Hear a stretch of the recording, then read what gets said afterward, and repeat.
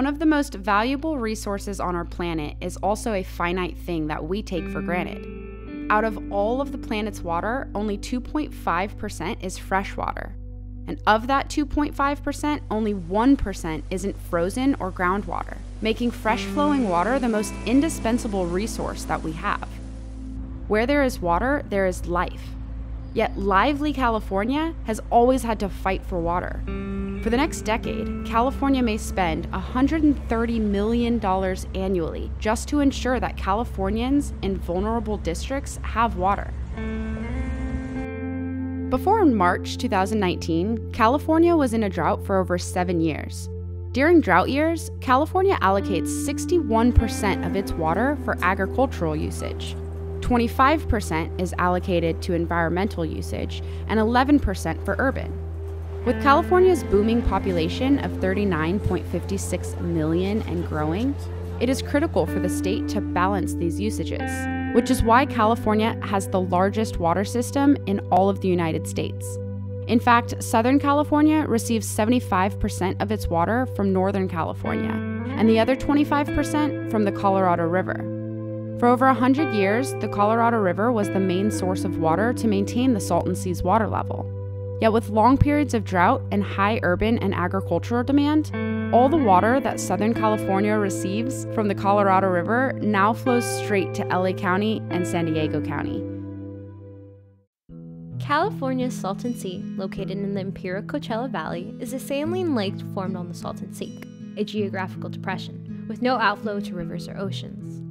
This region is a part of the Colorado Desert, receiving only 3 inches of precipitation annually, and a yearly average temperature of nearly 88 degrees Fahrenheit.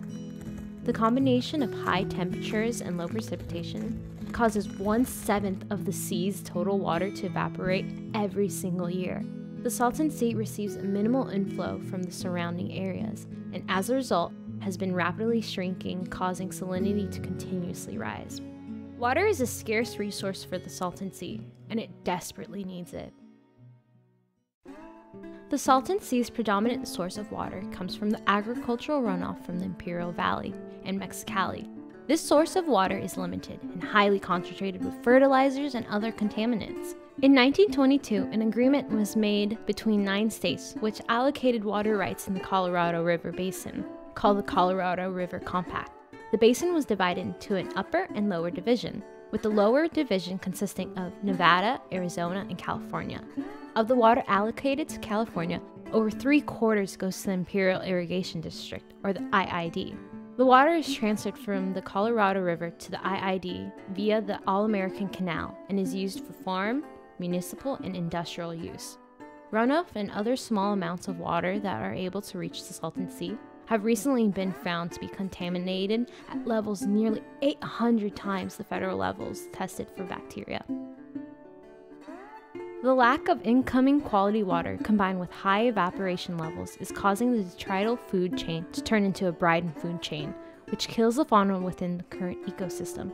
Since the Salton Sea is a critical stop along the Pacific Flyway, the death of prey creates a cascade through the food chain, both die off and agricultural pollutants create toxic sediment.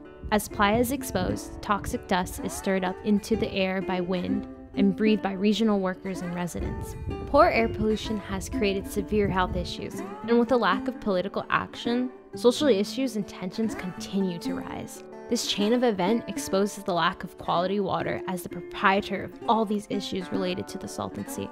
As water continues to be diverted from the Colorado River for urban and agricultural use, and as droughts continue to worsen, less and less water flows into the sea. These conditions cause water levels to drastically decline and salinity concentrations to increase. A critical shift is needed for how water is mitigated. The Salton Sea has no social or political power due to the wealth structure. Therefore, it's least likely to get water when competing against major southern cities.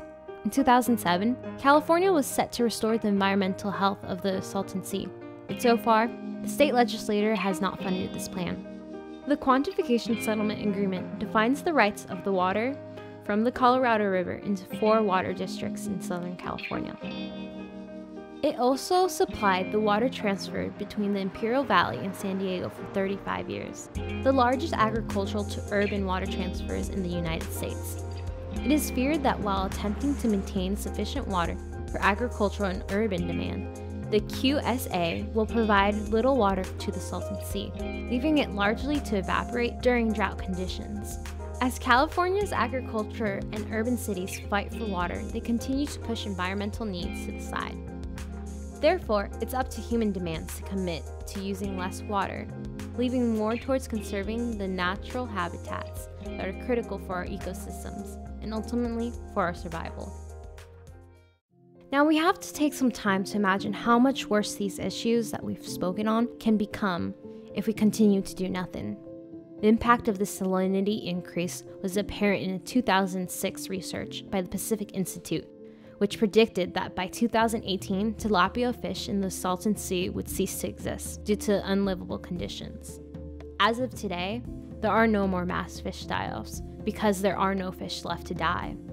A 2019 Desert Sun article stated the tilapia fish are all but gone, and so are millions of migratory birds that fed on them. By 2028, the dusty and toxic shoreline will have receded 4 miles, that's over 70 football fields from its 2003 levels. We continue to hit these horrible predictions right on time and even surpass them. Economically speaking, if nothing is done, there's a predicted $70 billion worth of damages to human health, the ecosystem, property values, and tourist economies over the next 30 years, just in the Salton Sea region alone. Without action, shorelines will continue to recede, salinity will rise, and migratory birds will continue to vanish. These worsening water issues are not isolated incidents, and they will affect many other facets of the Salton Sea ecosystem and the area surrounding it. Ignoring this issue is not an option. Water is a quintessential aspect of life, which makes this a life or death issue. Fortunately, not all hope is lost for this situation. Projects, proposals, and group efforts have been implemented and continue to be pushed to restore the Salton Sea. The most important thing to keep in mind is that action is needed, it is not optional. There is no ignoring the water issues that face the Salton Sea without suffering great consequences. These issues not only affect the Salton Sea's ecosystem, they have a domino effect across the entire Pacific Flyway if they're not solved. Water issues are complicated, they are wrapped in political and classist tape. To be ignorant on water issues because they do not directly affect us on an individual level does a disservice to all of us as a society.